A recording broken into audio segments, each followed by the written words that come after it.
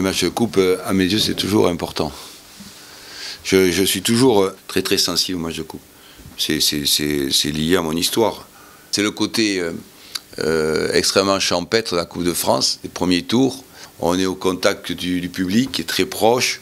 Il y a une effervescence particulière. Mais c'est ce ça que j'aime bien, le mélange du football amateur et du football professionnel. Puis on se fait bousculer. On se fait un, un, professionnel dans ce cas-là, on est, euh, tout à fait, qualification ou pas qualification, on est bousculé sur, notre piédestal, on est bousculé sur nos, appuis, sur nos valeurs, tout ça, parce que parce qu'on euh, on, on, rentre dans un autre milieu, même si c'est là qu'on a affaire à des professionnels quand même. Mais ce match-là est important, mais il se trouve que il est important, c'est parce que le, tirage c'est difficile. Euh, les collègues que j'ai eu au téléphone et certains m'ont appelé, m'ont dit tu as fait le tirage le plus difficile, c'est compliqué en, match à élimination directe, en Coupe de France, c'est particulièrement le, celui qui est archiquement inférieur et a moins de pression et développe beaucoup de force.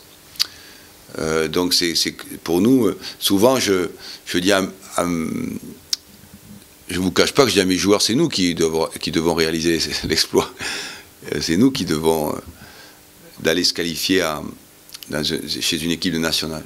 C'est une équipe très athlétique, mais vraiment très athlétique qui a une, taille moyenne minimum de 1m80-85. Il y a le dernier match, il y avait, deux joueurs, un 1m98 et un 1m95 l'autre.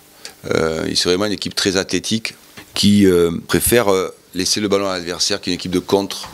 Donc ça va être vraiment un match très. J'espère il faut il nous faut un peu de réussite. Hein. Si s'il y a zéro réussite et puis évidemment il faut que les conditions il faut, aussi que le, le directeur de jeu l'arbitrage soit soit soit voilà de bonne facture.